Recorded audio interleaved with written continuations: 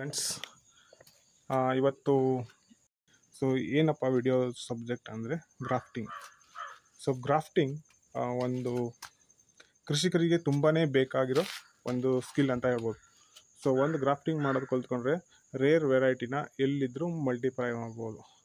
So ಇವಾಗ ನಮ್ಮ ಮನೇಲಿ ಒಂದು ಒಳ್ಳೆ ವೆರೈಟಿ ಮ್ಯಾಂಗೋ ಇದೆ ಅಂತಂದರೆ ನಾ ಆ ಮ್ಯಾಂಗೋನ ಮಲ್ಟಿಪ್ಲೈ ಮಾಡಿ ಮಾಡ್ಬೋದು. ನಾನು ಇವಾಗ ಮ್ಯಾಂಗೋನ ಬೀಜದಿಂದನೇ ಮಾಡ್ತೀನಿ ಅಂತಂದರೆ ಆ ವೆರೈಟಿ ಚೇಂಜ್ ಆಗಿಬಿಡುತ್ತೆ ಬೀಜದಿಂದ ಮಾಡಿದ್ರೆ. ಸೊ ಅದ್ರ ಬಗ್ಗೆ ನಿಮಗೆ ಕ್ರಾಫ್ಟಿಂಗನ್ನು ತೋರಿಸ್ತೀನಿ.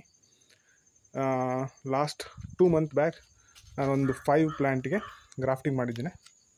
ಸೊ ಫ್ಲೈ ಫೈವ್ ಪ್ಲ್ಯಾಂಟಲ್ಲಿ ನಾಲ್ಕು ಗಿಡಗಳು ಚೀರಿದ್ದಾವೆ ಆ್ಯಂಡ್ ಒನ್ ಮಂತ್ ಬ್ಯಾಕ್ ಮತ್ತೊಂದು ಐದು ಪ್ಲ್ಯಾಂಟ್ಗೆ ಗ್ರಾಫ್ಟಿಂಗ್ ಮಾಡಿದೆ.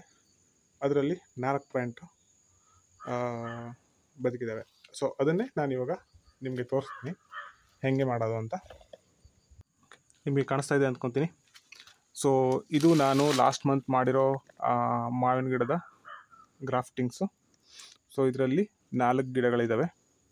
ಸೊ ಇದರಲ್ಲಿ ಏನಾಗಿದೆ? ಮೂರು ಗಿಡಗಳು ಚಿಗುರಿದೆ. ಒಂದಿನ್ನು ಜಸ್ಟ್ ಚಿಗಿರೋ ಸ್ಟೇಜಲ್ಲಿದೆ ಲಾಸ್ಟ್ ಒನ್ ಸೊ ಮತ್ತೊಂದು ಗಿಡ ಸತ್ತೋಗಿದೆ. ಸೊ ಅದನ್ನು ತೆಗೆದುಬಿಟ್ಟು ಹೊರಗಡೆ ಇಟ್ಟಿದ್ದೀನಿ. ಸೊ ನಾನು ಗ್ರಾಫ್ಟಿಂಗ್ ಮಾಡಿರೋ place exact this place so ನೀವು ಪ್ಲಾಸ್ಟಿಕ್ ಕೂಡ ಕಾಣ್ತಾ ಇದೆ. ಇನ್ನು ನಾನು ಪ್ಲಾಸ್ಟಿಕ್ ರಿಮೂವ್ ಮಾಡಿಲ್ಲ. ನೆಕ್ಸ್ಟು ಟೂ ಮಂತ್ ಆದಮೇಲೆ ನಾನು ಇದನ್ನು ರಿಮೂವ್ ಮಾಡ್ತೀನಿ. ಸೊ ನೀವು ಮೇಲ್ಗಡೆ ನೋಡ್ಬೋದು. ಗಿಡ ಕೂಡ ಚೆನ್ನಾಗಿ ಚಿಗುರಿ ಬಂದಿದೆ. ಸೊ ನೆಕ್ಸ್ಟ್ ಪ್ಲ್ಯಾಂಟ್ ಏನಾಗಿದೆ ಅಂದರೆ, ಇದರಲ್ಲಿ ಎರಡು ಹೆಣೆಗಳಿದೆ. ಇಲ್ಲಿ ಬಂದೆ. ಇಲ್ಲಿ ಎರಡು ಹೆಣೆಗಳೇ ಬಂದಿದೆ. ಸೊ ಇವೆರಡು ಹೆಣೆಗೆ ನಾನು ಗ್ರಾಫ್ಟಿಂಗ್ ಮಾಡಿದ್ದೆ. ಸೊ ಬಟ್ ಏನಾಗಿದೆ? ಈ ಪ್ಲ್ಯಾಂಟ್ಗೆ ಈ ಹೆಣೆಗೆ ಗ್ರಾಫ್ಟಿಂಗ್ ಚಿಗುರು ಬಂದಿದೆ. ಬಟ್ ಇದರಲ್ಲಿ ಇನ್ನೂ ಚಿಗುರು ಬಂದಿಲ್ಲ. ಬಟ್ ಹೆಣೆಗಳು ಇನ್ನೂ ಗ್ರೀನ್ ಕಲರಲ್ಲಿ ಇದೆ ಆ್ಯಸ್ ಆಫ್ ಸೊ ಇದು ಮತ್ತೊಂದು ಪ್ಲ್ಯಾಂಟ್ ಇದು ಚೆನ್ನಾಗಿ ಚಿಗುರು ಬಂದಿದೆ. ಆಮೇಲೆ ಇದು ಟೂ ಮಂತ್ ಬ್ಯಾಕು ನಾನು ಗ್ರಾಫ್ಟಿಂಗ್ ಮಾಡಿರೋದು. ಸೊ ಇದರಲ್ಲಿ ನಾಲ್ಕು ಪ್ಲ್ಯಾಂಟ್ ಬದುಕಿದ್ದಾವೆ ಸೊ ಇದೇನಾಗಿದೆ? ಇದು ಚಿಗರಿ, ದೊಡ್ಡದಾಗಿ ಎಲೆ ಬಂದಿದೆ. ಇನ್ನು ಎರಡು ಪ್ಲ್ಯಾಂಟು ಆ ಕಡೆ ಇಟ್ಟಿದ್ದೀನಿ. ಸೊ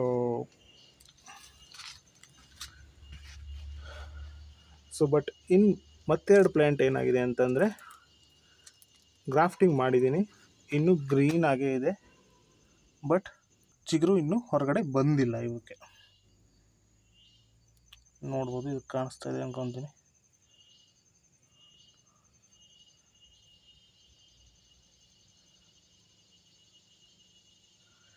ಚಿಗುರು ಇನ್ನೂ ಹೊರಗಡೆ ಬಂದಿಲ್ಲ.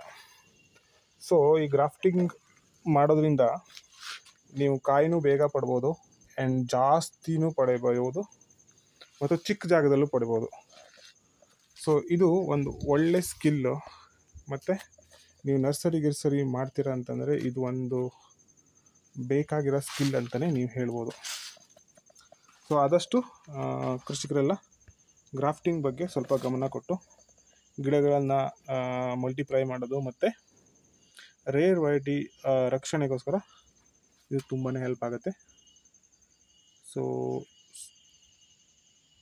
ವಿಡಿಯೋ ನೋಡಿರೋದಕ್ಕೆ ಧನ್ಯವಾದಗಳು. Thank you